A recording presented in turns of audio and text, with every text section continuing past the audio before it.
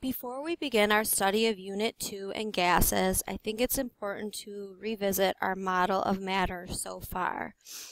Everything that we've studied and stated about matter is in line with the early ideas of Democritus, who is, was a Greek philosopher and the first person credited with recording observations of matter. His first observation is that matter is composed of particles which move through empty space. We too, as a team, have been uh, documenting matter as composed of small circular particles. And with the popcorn demonstration as well as the hot and cold water demonstration, we have evidence that particles can move.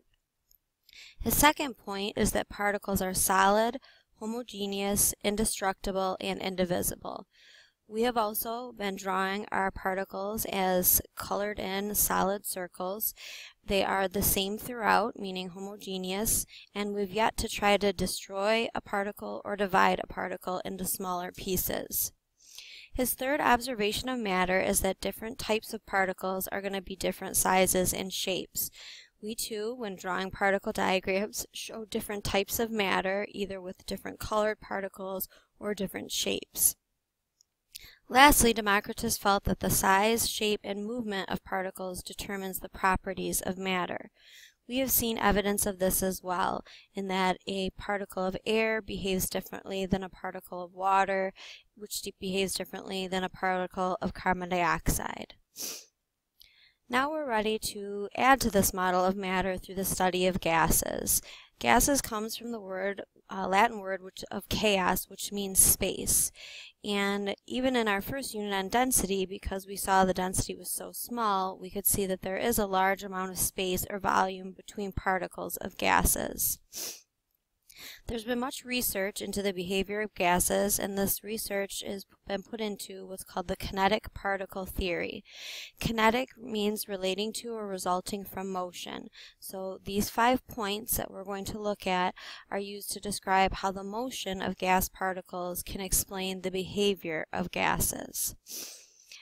Point one, if we think back to the popcorn diffusion demonstration, there didn't really appear to be a pattern or a path for the pop popcorn particle smell movement, even though more individuals close to me raised their hands sooner than those that were further away from the popcorn smell, we could still see that there was some people that smelled it in the second row before those in the first, or someone in the fourth row even before the second row. So even though there was a definite pattern of spread, there wasn't a pattern necessarily. This is in line with point one of the kinetic particle theory, and that is that particles of gas are in a constant but random pattern of motion. And gas particles tend to move in straight lines until they collide with another particle or a wall of the container in which they're enclosed. So even though we couldn't see the popcorn smell particles, um, they were just moving about in straight lines until they would hit another popcorn smell, if they would hit a particle of air, or hit the walls of our classroom or one of you. Point two in the kinetic particle theory um, has to do with gas movement and energy. If we think about what would happen if gas particles ever did stop moving or ran out of energy. Any particle without energy stays still, and so those gas particles would most likely fall to the floor. We know this isn't true because the gas particles we need to breathe, namely oxygen, are constantly spread throughout our environment. Point two demonstrates this observation. Particles of a gas experience what are called elastic collisions. Now this term might seem confusing because it's not elastic like a rubber band, but what it means is that these particles, they constantly run into each other, but they don't ever lose the energy they possess. They just transfer it to the particle or the container that they run into. So they'll constantly be moving because they're constantly running into other particles and picking up more energy. Point three of the kinetic particle theory, again, we can think back to the popcorn. We didn't, it didn't appear like the particle smells stuck together. They actually spread throughout the room. So we didn't see any evidence that the particles were attracted to each other or trying to get towards each other. They didn't they didn't appear to be repelled by each other either, like trying to get away. And point three is in line with these observations. Particles of a gas do not stick to each other, and actually, because they're so far apart and their density is so low, they're not attracted or repelled to one another. They just move about independently in a straight line, and when they collide, they move off into another direction. Point four goes back to our hot and cold water demonstration in that all particles are not moving at the same speed. And we saw how we could make particles move faster or slower. Uh, individual particles moving at move at different speeds because they have different amounts of energy. And even though there are different ways to supply or take away energy, typically the speed is going to be related to temperature or heat energy. And so this uh, diagram, which is also in your notes, shows this difference in speed based on different energies. The particles in the container on the left are moving about randomly, hitting the sides of the container, but we can see the particles on the right, while doing the same, are moving faster and striking harder because they have a greater amount of energy. The final point of the kinetic particle theory has to do with gas pressure. Uh, we will be doing a lab very shortly where we quantify and look for relationships with gas pressure. So we need to understand, well, what causes it. The pressure of a gas is directly related to how often and how hard the gas particles collide with each other as well as the sides of the container in which they're enclosed. So that's really what we're measuring with gas pressure. How often and how hard are the particles colliding. So that brings us to a discussion on gas pressure. If you look up a definition, any type of pressure is how much force there is per unit of area. Uh, so again, gases exert pressure when they hit each other and the sides of their container, and that produces a force. Now the force, we can change the amount based on the, um, uh, the area that the force is being applied. A good example of this would be if you looked at the two different types of shoes here in the corner.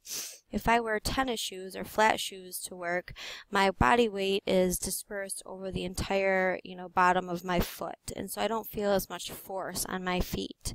If I wear high heels to school, though, now my body weight is concentrated over a much smaller area, the, the toes and then the uh, heel portion of the shoe. And so I'm going to feel a lot more force on my feet. So this whole idea of gas pressure and force, if we decrease the amount of area over which the force is applied, the pressure is increased.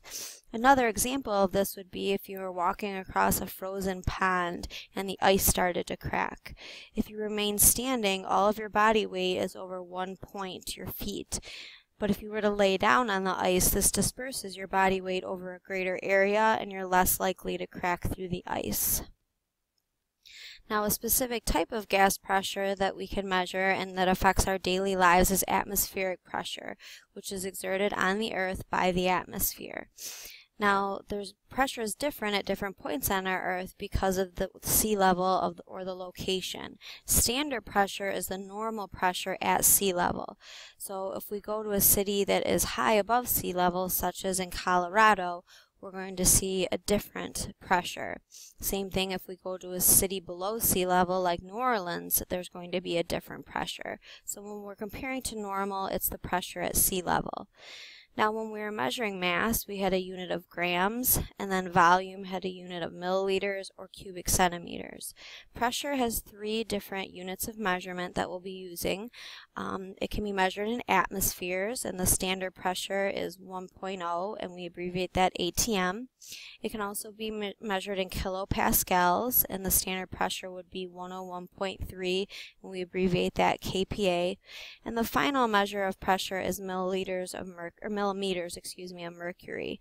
Um, this form of pressure, millimeters of mercury, is the same unit of pressure used when you get your blood pressure taken at the doctor's office. So when they report a pressure of 120 over 80, the units of that would be millimeters of mercury. We're going to use the kinetic particle theory and those five points to explain how gases behave. The first explanation, though, we already know a great deal about, which is density from the first unit. We know that density is the amount of mass per unit of volume. And we, as we look back at the kinetic particle theory, there's a lot of space between gas particles. This leads to a much lower density when we compare gases to other states of matter. Another behavior we can explain is the idea of compression and expansion. Because there's such a large amount of space between the particles, it's a lot easy to, or it's very easy to squish them into a smaller volume. However, if we remove that force, the particles, because they're constantly moving, are going to push back and expand to fill the available space of their container. This diagram illustrates this idea of compression and expansion. If we were to push down on the piston in the center, because of the space between the gas particles, we can squeeze them into a smaller volume. However, if we remove that force entirely, those motion of the gas particles are going to spread out to fill the available volume of their container. As we saw in another point in the kinetic particle theory, there isn't any uh, significant force of attraction between gas particles. Because of this, they can flow very easily past one another. This uh, behavior can explain two types of um, qualities of gases, which is diffusion and effusion. Diffusion we saw with the popcorn particles. If we have the popcorn small particles partitioned inside the bag, you can see there's a high concentration of particles. As soon as we open the bag or remove this partition, the popcorn particles, because they're moving, are going to collide and spread out to fill the available container. So diffusion is the tendency of gas particles to move from a high concentration area to a low concentration until they're spread out evenly through the system. You may also have learned about diffusion across a cell membrane in biology. Another property of gases based on this idea that they are able to flow past one another is effusion. And this is the movement of gas particles through a tiny opening into a region of lower pressure. The best example of this is a hole in a balloon. Again, if we look at the box, if this is representative of the balloon, the particles inside are under an area of high pressure. If we poke a hole in the balloon, we all know that the air is going to escape, but the reason is because the particles are going from an area of high pressure to an area of lower pressure.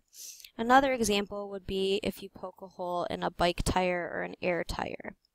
Now, not all particles diffuse or move at the same rate. Particles that are smaller or have less mass are going to diffuse more quickly than if we have very massive particles.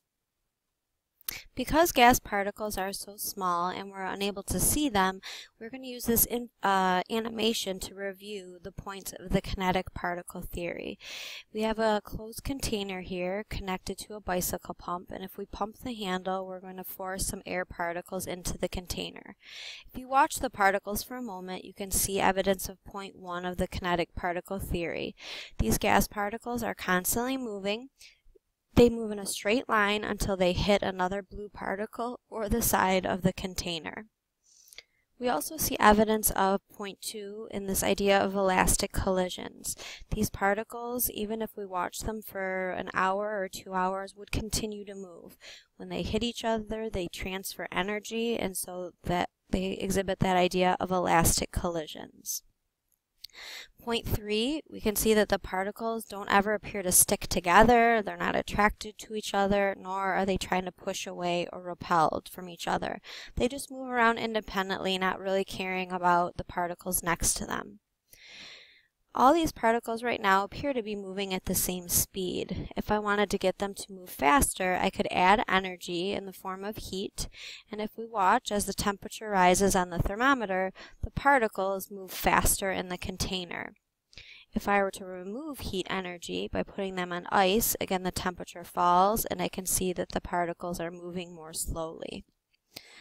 The final point of the kinetic particle theory is, has to do again with gas pressure, which is caused by the particles hitting each other and the sides of the container.